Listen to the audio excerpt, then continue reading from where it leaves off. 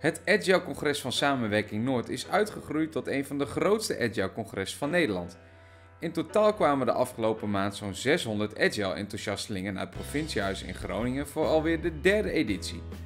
Ze werden volledig bijgepraat op het gebied van agile, oftewel behendig werken. Uh, agile werken is iets wat in elke organisatie tegenwoordig wel speelt. Uh, sommige organisaties die zijn er heel ver mee, sommige niet zo ver mee. Dus het, juist het delen van dat soort kennis, ik denk dat er heel veel behoefte aan is. En dat zie je aan de grote opkomst.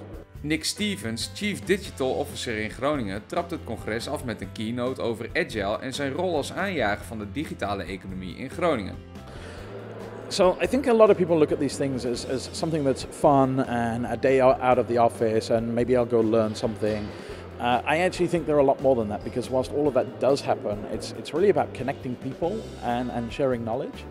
Na de keynote konden de bezoekers terecht bij zo'n 30 kennissessies, die voor het grootste deel werden verzorgd door de partijen die zich bij Samenwerking Noord hebben aangesloten. En dat zijn eigenlijk allemaal uh, ervaringsverhalen. Ervaringsverhalen uit eigen organisaties, soms van commerciële uh, uh, opleiders, soms van organisaties die zelf door die agile transitie heen zijn gegaan. En, en die ervaringsverhalen die, die leren elkaar, hè? Men, leert van elkaar. Dat is eigenlijk het belangrijkste wat hier gebeurt. Steeds meer bedrijven gaan agile werken. Maar in de praktijk blijkt het toch lastig om collega's mee te krijgen. Wat er moet gebeuren, denk ik, is dat uh, ook niet-IT-mensen de waarde ervan zien. En niet omdat het gepusht wordt vanuit IT-mensen, maar omdat we laten zien vanuit dit werken dat het werkt. De enorme belangstelling toont aan dat wendbaar werken een grote rol gaat spelen in de toekomst. De vraag is echter hoe belangrijk agile straks is. Het werkt niet meer om met plannen te werken vijf jaar vooruit of het komend half jaar is dit het plan. We spreken graag van van plannen in plaats van plannen.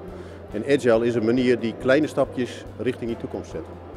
So you know, agile is not much more than a set of principles and methodologies for how we are going to work together and what work we are going to get done, or in what manner are we going to get that work done. So it doesn't matter whether you call it agile or, or, or named under any other flavor. It, for me, it goes back to the humans. It's about how we're communicating, how we're making decisions, uh, and why we are doing whatever it is we're going to do.